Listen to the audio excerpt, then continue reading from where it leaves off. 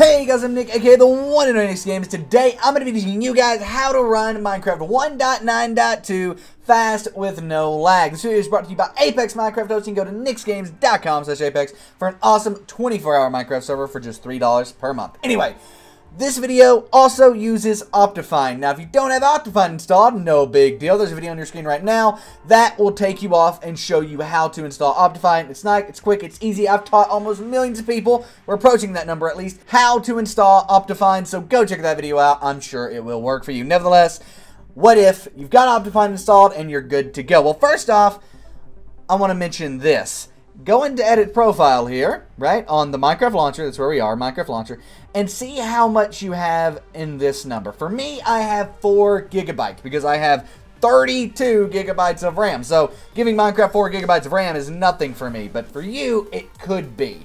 Chances are you're going to want to leave that default unless you have a computer with 16 gigabytes of RAM or more. If you have that, I would recommend upping that to uh, 2 to 4 gigabytes. Otherwise, probably leave that the same because Minecraft's done a really good job actually optimizing that and figuring out what amount of RAM is best for you. Nevertheless, I wanted to mention that for those of you who are in here with nicer systems. They're like, why is Minecraft lagging? Well, that might be why. But let's go ahead and click play. Now, if we launch in here, we'll notice one thing, and that's I have Pure BD Craft, a texture pack, awesome texture pack, installed. The problem with that is it's going to create lag in game. So first things first, let's go disable any resource packs or texture packs we have. So Pure BD Craft, bye-bye. Love it, but bye. Not going to work here. Once we've done that, we want to jump over to video settings, and here's where things get crazy. Now, I'm going to optimize this for someone who has horrible, horrible performance on Minecraft. Can't play whatsoever. If that's not you and you're just lagging a little bit, well, tweak around, right? For example, you might be able to run a render distance of not tiny. You might be able to up it to 10 or 9, right? You might be able to do that. But for this tutorial, we're going with tiny. We want frame rate unlimited. We also want fast graphics. And we want smooth lighting to be completely off. View bobbing, on, off, whatever you prefer. I prefer it off. GUI scale, GUI scale, whatever you want. But truly, this right here is going to be the best performing. Truthfully, it doesn't make a big difference, but for some people it does, depending on your graphics processor. So the smaller the better. However, I don't think you guys want it to be that small when I'm doing this tutorial, so we're going to go ahead and make it large. Use VBOs, whatever you want. Honestly, I think turning them off on bad systems and on on good systems is what works best. However, I've heard differently. We're going to go ahead and turn them off here. As far as brightness goes, do whatever you want. Same thing for attack indicator. It's not going to affect performance. I'm going to leave that off, though. For fog, go ahead and keep that one off. For fog start, doesn't matter. You've got fog turned off. Shaders, if you have it, just no. Don't even. Don't even turn. Don't even do shaders if you're having lag issues. Quality. That's where we want to move next. And then we'll move over to, uh, to details there. So quality. Minimap off. Everything off. Clear water off, better grass off, off, off, off, off, off. And guess what? Everything's off. Turn everything on this screen off. Next, we go to details, where we want it to either be fast or off. If we have the option of turning it off, we turn it off. Otherwise, we leave it on fast. Except this. Hand item tooltips can be left on. It's going to be okay. Um, but yeah, so that's what you want to do there. Entity shadows, definitely want to turn those off. Animations, this one's easy. All off. You see pattern here? I do. Everything's going to be off.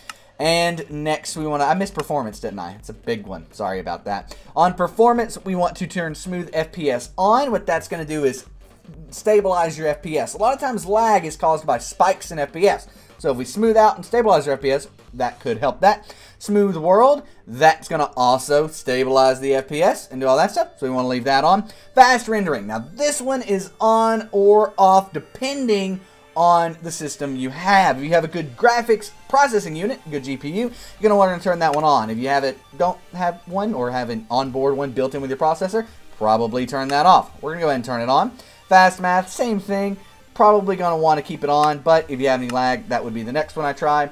And chunk updates, we want to leave that at 1. That's going to keep FPS higher, but make load times longer, right? So basically, it's going to take longer for your world to load, but once it loads, you're going to have higher FPS. Dynamic updates, I like to keep this one on. Basically what dynamic updates does is when you're standing still, it loads more than when you're moving. That way you can move about better. lazy chunk loading, we're going to keep on. Done, and now if we jump into other, all of this stuff really doesn't matter except weather. Weather does cause lag. Everything else we want to uh, just basically keep the same except autosave. Autosave is one I like to talk about. Now, autosave. By default, is two seconds. That means it's constantly saving. Minecraft saving, saving, saving, saving, saving, and that's going to lag your computer. But if you turn it to three minutes, you're going to have a little less lag, and you could lose up to three minutes of work in Minecraft. Now, for me, three minutes of work's not bad. For you, maybe that's a big deal. Maybe you wanted to turn it to uh, 20 seconds. Now, if you're having really big lag spikes, about once every three minutes, if you have the autosave set to three minutes, maybe turn that to 30 minutes. But keep in mind, if you put your autosave at 30 minutes, you could lose up to 30 minutes of work in Minecraft. And while three minutes isn't a lot to me, 30 minutes is.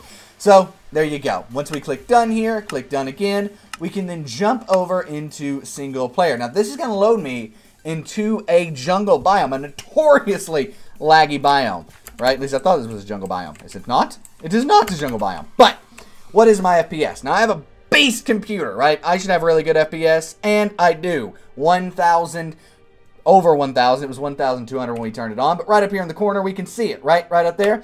That is my FPS. You can get that by hitting F3, by the way. So just hit F3 and your FPS shows up in the top left-hand corner of Minecraft. Mine is good to go. What is yours? Let me know in the comment section down below. This video is brought to you by Apex Minecraft Hosting. Go to nicsgames.com slash apex for an awesome deal on Minecraft servers. Additionally, if you I've went through this tutorial for some reason and still haven't installed Optifine, that video is on your screen right now.